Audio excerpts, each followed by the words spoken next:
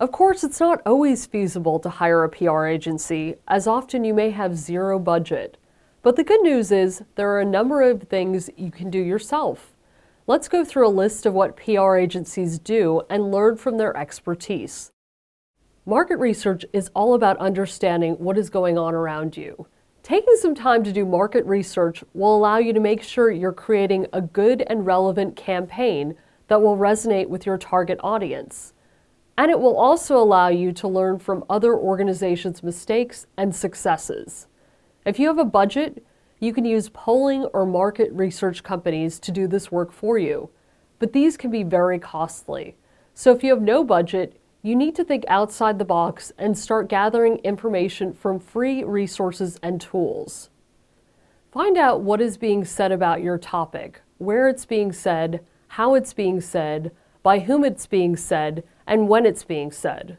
Of course, one of the easiest ways of doing this is by using Google Search, but it is also worth setting up a Google Alert to get the latest news on your topic. As a journalist, I use this free and simple feature a lot, and it can be equally useful for you as an activist. Google Alerts work very well if you're focusing on one topic. For instance, I was working on CNN's Leading Women show. To ensure I got all the latest news on women in business, I set up several Google Alerts including gender equality, women in business, women, pay gap, and gender pay gap.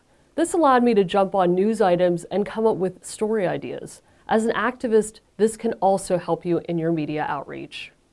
SurveyMonkey is a tool that you can use to create your custom-made surveys and send to your contacts and ask them directly what they think about your performance. It's also a useful tool for when you want to do original data gathering to get statistics and quotes for your reports, and that can be used for media outreach work. If you want to get more people to engage with your Facebook updates, you need to look at the data and audit what is working and what isn't for the campaign.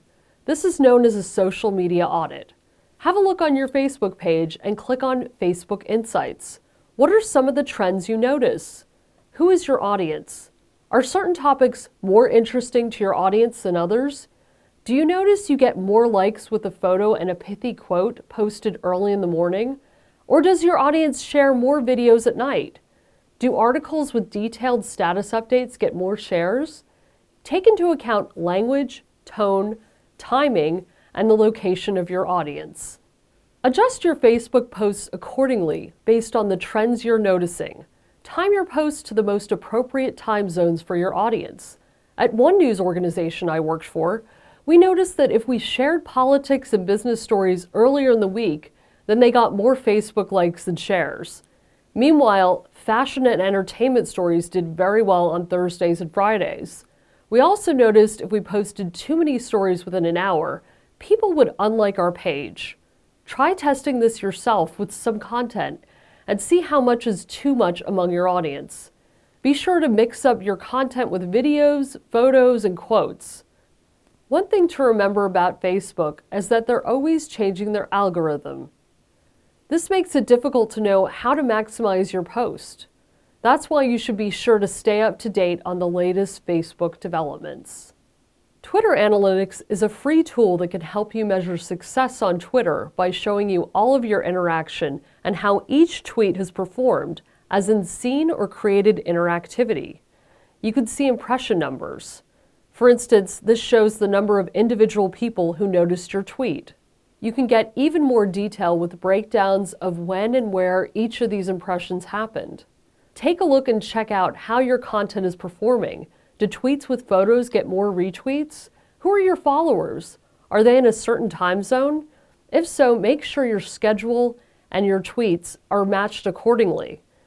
If you aren't impressed with the quality of your followers, ask yourself how you can tweak your content to make more of an impact when it comes to attracting a relevant audience. After having a look at your followers on Twitter Analytics, consider unfollowing people who aren't aligned with your brand. Be sure to follow people who are aligned with what you want to achieve. Social media takes a lot of time to do well, and most large organizations either hire a PR agency to do this work for them or they hire in house social media managers to run their Facebook, Twitter, and Instagram accounts. But hiring someone to run your social media 24 7 is not something most of us can afford. So, to succeed on social media, you need to use your time and resources wisely. I'll discuss social media strategy in more detail in Chapter 4. As a social media manager, I spent a lot of time planning content and trying to get a good grasp of my client and the issues around their campaign. To save time, I schedule about 10 tweets each morning on Hootsuite. On Facebook, I schedule three posts a day using the site's scheduling tool. I also write a weekly report tracking my output and impact on each social media account. I highlight the most popular tweets, mentions, while also reporting Facebook likes and shares. I also track our weekly Twitter followers and Facebook page likes. A weekly report can help you track your progress and serve as a tool to hone your future content.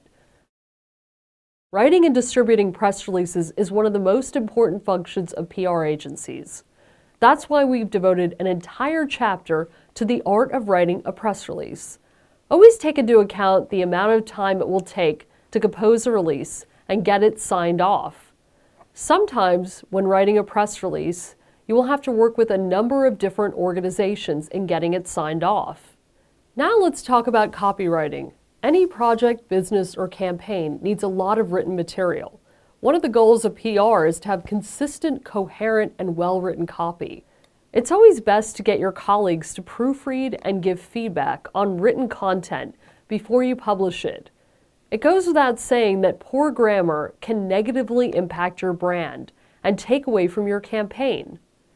If you have a budget, you may consider hiring a freelance copywriter or agency for one off projects. Organizations even hire copywriters to create content for newsletters, website copy, press releases, as well as apps and SMS messages. MailChimp allows you to create and send an email to a large number of users. It is free to use until you have more than 2,000 contacts, and it also lets you create beautiful newsletters and most importantly, it gives you really detailed analytics of your emails so you can plan when is best to send them and ensure people actually open them. You can also determine what subject line is most popular and much, much more.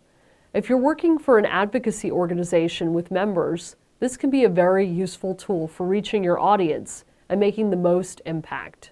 At the trade association I worked for, we use this tool to communicate with our 1,000 member companies. We decided to send newsletters out on Tuesday mornings instead of Friday afternoons based on MailChimp's analytics. Again, make sure you analyze and make decisions based on the data provided. Find out what is resonating with your audience and when they are engaging the most with your content. Each organization, campaign, or business will have key people who will need to address the public or their specialist audiences from time to time. It is important that these speeches are well written and that the message is communicated clearly in a tone that resonates with your audience. As a press officer in Brussels, I had to write external speeches for the director of our organization. They would take several days to write and get approval from my colleagues. Let's run through a mini step by step guide of how you should approach speech writing. Before you begin writing, start by figuring out the context of your speech. Who are you writing your speech for? What is your speech about? How long does it have to be? Once you've answered those questions, like any good book or film, you need to identify the structure a beginning, middle, and end. Make sure your message is hammered home in your conclusion. Another tip always write your introduction last. Get feedback from others in your organization and practice aloud in front of the mirror. For more tips on speech writing, check out the links in the extra material section at the end of this lesson. Events are an excellent opportunity to showcase what your organization has been doing. Events can be big or small, from an informal report launch in your office with a presentation to a panel discussion with some experts. You may even wish to host a big black tie gala or an awards show. No matter what event you host, you should always identify key journalists to invite to these types of events. They are an excellent opportunity to meet journalists face to face and potentially pitch them other story ideas. All good events require a lot of planning.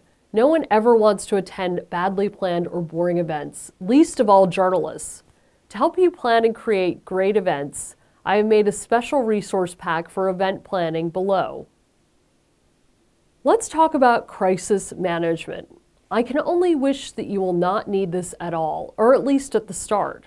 But hey, better to be prepared just in case. Crises come in all shapes and forms. Imagine a scandal or unexpected crisis of any sort. You need to manage it as fast as you can or face the consequences and the damages. The best approach is always to meet as a team and decide what your response to a crisis is before you make a public announcement or to even start fixing the problem. Better to give a good response than a rushed one, which probably would make things worse. For this to happen, you need to make sure that you have your colleagues' personal contact details so that you can reach them outside of work if you need to. If you're a solo campaigner or activist, then discuss and test your ideas and how to deal with them with a trusted source. This will likely prevent you from making a mistake. Now let's find out how you write a really good press release.